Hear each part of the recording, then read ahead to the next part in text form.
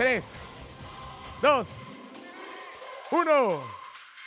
Calle 7. Arranca la, quien fue, la que fue la capitana del equipo Escarlata en esta octava temporada, Luli Gallimore.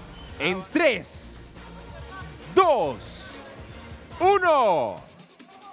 Calle 7. Bueno, señoras y señores, Daniel está listo para iniciar. Saludos para Jade y Mia Victoria que están en sintonía de Calle 7 Panamá.